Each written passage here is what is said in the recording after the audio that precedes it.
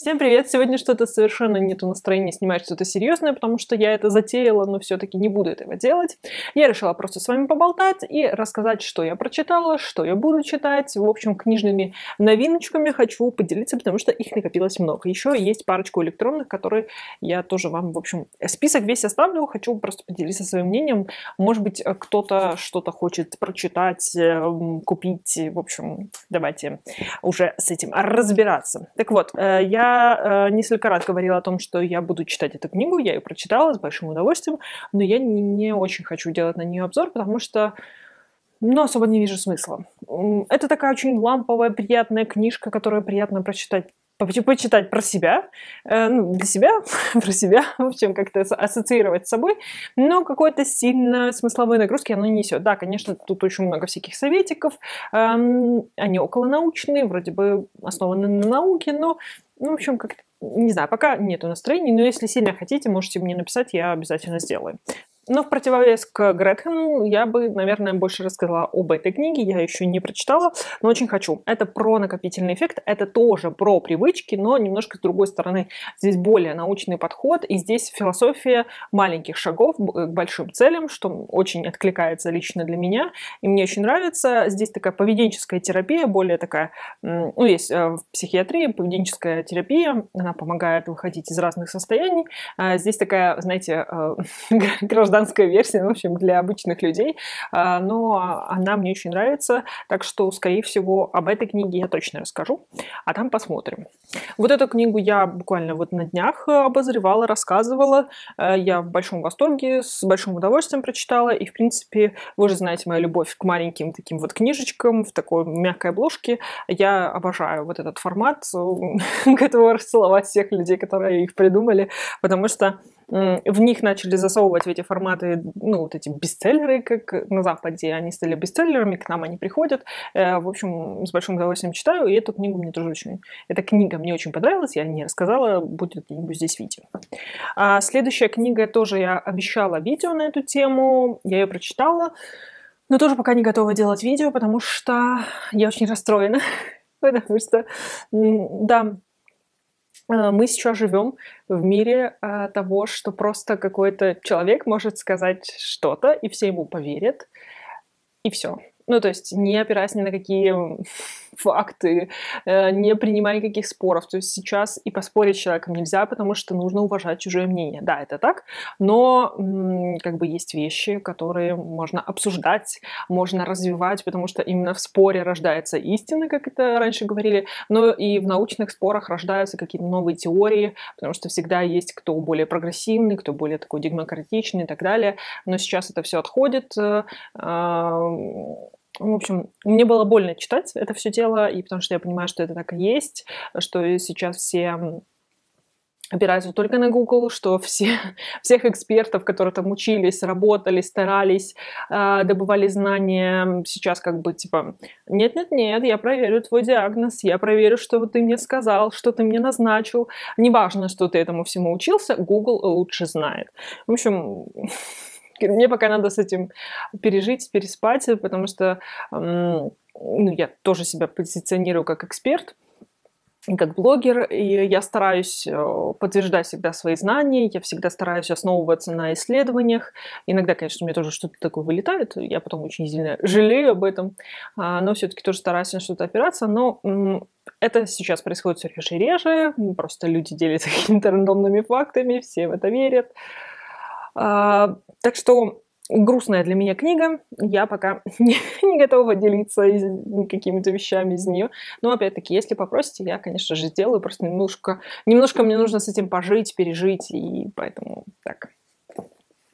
Следующие, кстати, две книги, которые у меня здесь есть, э, это из одной серии какую-то сделали, ну, типа, быструю для тех, кто хочет все успеть. Вот.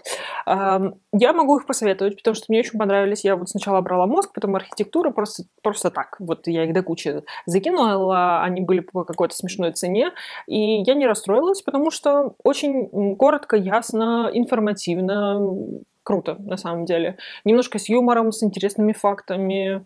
Ну, то есть, если вы хотите немножко расширить свои знания, очень даже, кстати, будет. Так что я довольна.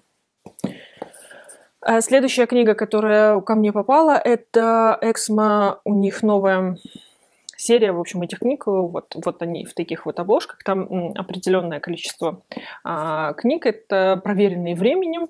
А, я взяла доктора Джо Диспенза, он достаточно противоречивый автор, я читала его «Силу подсознания», была в большом восторге и под впечатлением, и вот взяла его первую книгу. У меня к нему неоднозначное отношение. Кто-то считает его этим мошенником, кто-то, э, что он продвигает псевдонауку. Мне нравится, как он рас... ну, не рассуждает, а как он рассказывает о том, как устроен наш мозг. Мне не, не все нравится, что он рассказывает дальше, но вот то, как работает наш мозг, он очень хорошо, подробно и интересно, с такой, знаете, с необычной точки зрения об этом всем рассказывает. И мне очень нравится просто для расширения своего сознания, своих знаний, мне кажется, тоже интересно, потому что ну, всегда нужно с разных точек зрения все это посмотреть, почитать, э, это всегда хорошо. Поэтому вот я а, выбрала себе вот эту книжку. И а, «Думаю, как миллионер», а, тоже из этой же серии, какие-нибудь главные книги жизни. А, я взяла просто почитать, потому что иногда нужно читать такие книги. Вот честно. У меня то же самое было с книгами «Ни сы, ни ной», потому что не Несы – это чистая психология, Ниной, по-моему, все-таки ну, черненькая, черненький вариант – это как раз про деньги. Да, там банальные банальщины написаны, но иногда это нужно. Иногда нужен этот банальный щелбан в лоб, чтобы ты как-то немножко по-другому все это начал думать, осознавать, а, видеть другие возможности и так далее. Поэтому Такие книги нужно периодически читать, пересматривать. А, я вот взяла очередную, потому что Ниной мне уже не нравится. А, как-то прошла у меня... Ну, то, что прошла любовь, а, прошло ее влияние. То есть она сделала свое дело, очень хорошо мне подзарядила вот эта серия, но больше нет, потому что там есть еще третья, сейчас вышла красненькая такая, я не помню, как она называется, уже вообще не хочется ее читать. И есть еще три электронной книги, которые я хочу прочитать, это «Всегда вовремя». А, такая тоже достаточно противоречивая книга, которую я хожу вокруг нее, хожу, все никак не могу прочитать, но вот все-таки хочу туда вгрызться, потому что там про новые хронотипы, которые э, у нас есть, типа не только сова и жаворонок, там рассказывают про дельфина, льва, медведя и волка, типа что нужно делать каждому хронотипу, в какой период, когда спать, когда есть, когда то, когда все. А, с одной стороны, мне кажется, это странноватенько. Ну, то есть ну, я, конечно, знаю, что есть хронотипы, у каждого из нас есть биологические часы внутри, э, каждый из нас в определенное время активен и не активен. Мне кажется, все-таки это больше индивидуальная штука, но как бы интересно почитать. Я уже давно поняла, что я не жаворонок, не сова, а дятел, который очень поздно ложится и очень рано встает и мучается из-за этого, обещая себе каждый раз пораньше лечь спать, потом, в общем, ничего не получается.